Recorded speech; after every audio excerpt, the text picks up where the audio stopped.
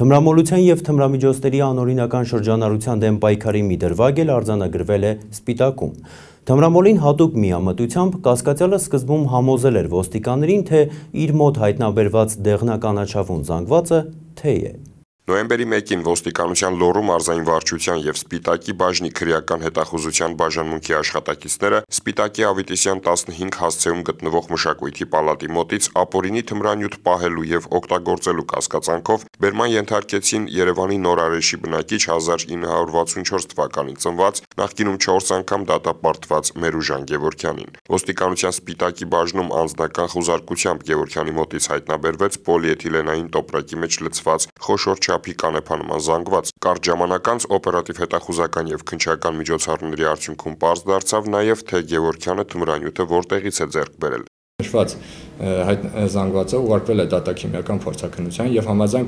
փորձագետի եզրակացության իր մոտից հայտնաբերվածը հանդիսանում է մարիխուանա թմրամիջոց։ Մերուժանը թեև բաժնում ինքնախոստովանական ցուցմունք էր տվել, այնուամենայնիվ հրաժարվեց հայտնաբերվածի վերաբերյալ տեսախցիկի առաջ բացատրություն տալ։ Չեմ ասում, ոչ չեմ ասում, ոչ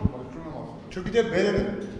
Մեկ փորձում էր հավատացնել, որ չգիտի, ինչու են իրեն ոստիկանություն բերել, մեկ պնդում էր, որ հիվանդ է եւ մեր հարցերին չի կարող պատասխանել։ Ես հիմա տղա եմ, սա կարող եմ գնամ ստե։ Ոստիկանները պատմում էին, որ իրենց էլ սկզբում փորձել է համոզել, թե մոտի դեղնականաչավուն զանգվածը թե է։ Սպիտակի քնչական բաժանմունքում քրեական օրենսգրքի 268 հոդվածի երկրորդ մասի երկրորդ կետի հատկանիշներով հարուցվել է քրեական գործ, կատարվում է քննություն։